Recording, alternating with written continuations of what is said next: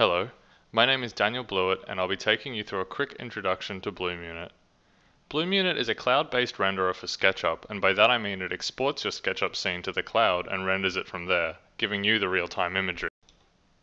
Bloom Unit is available now for free download for both OS X and Windows. By simply creating an account on our site you can download a trial copy with one free hour right now.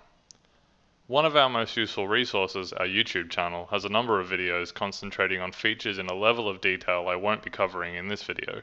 Be sure to check it out.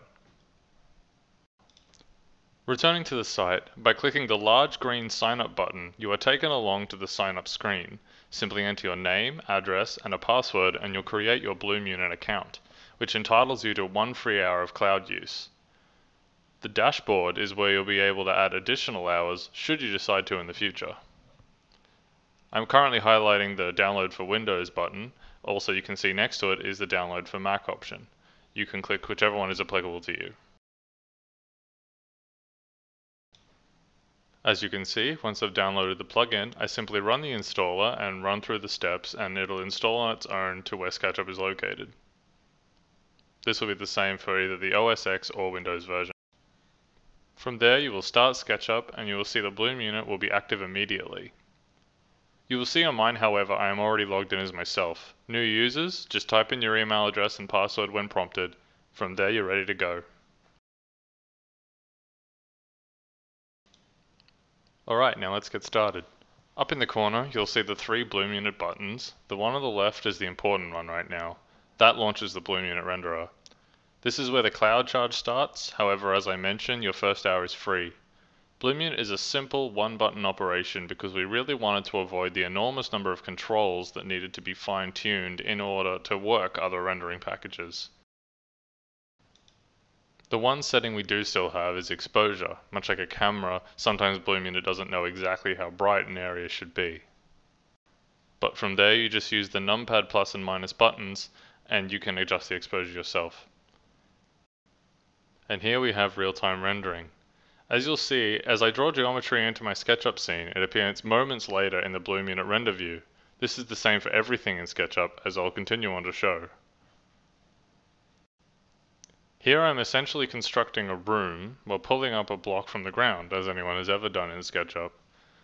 What I'll be doing next is finding a component in my existing library which has a Bloom Unit material on it, which is our glass material, which is a window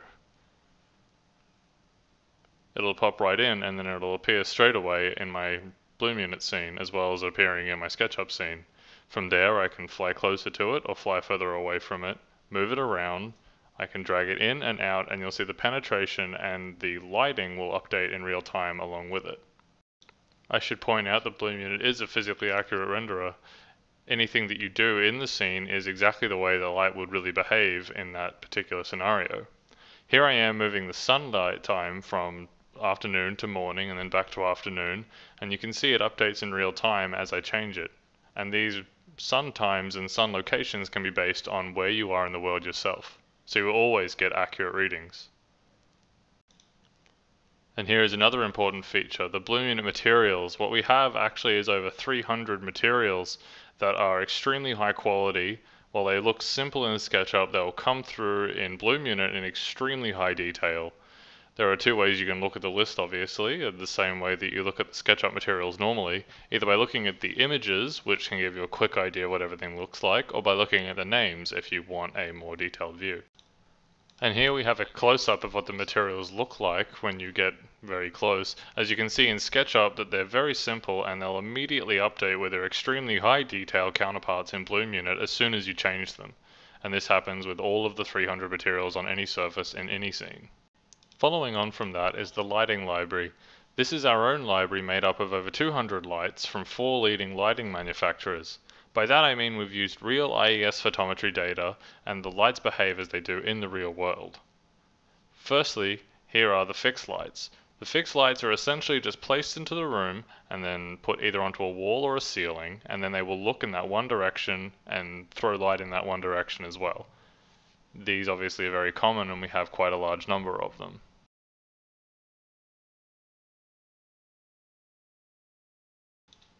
Now I'll just delete two of them and we can see the darkness spread to that side of the room and I can show you what the aim lights do. The aim lights are essentially the other kind of light we have and we can place those either onto the ground or a wall or a ceiling again and then you can decide which direction you want to aim them. As they come in in a default direction, in the direction you can see at the moment, which is diagonally facing down, you can just right click and go down to aim light and click the wall or the window or any object in the scene and it will project the light in that direction instead using the same IES data.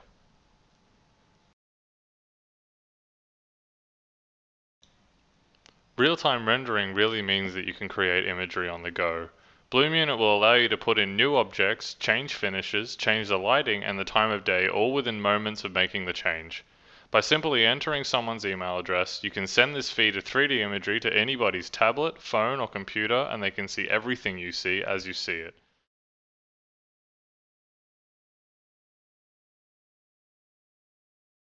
These are a collection of images I've created using Bloom Unit.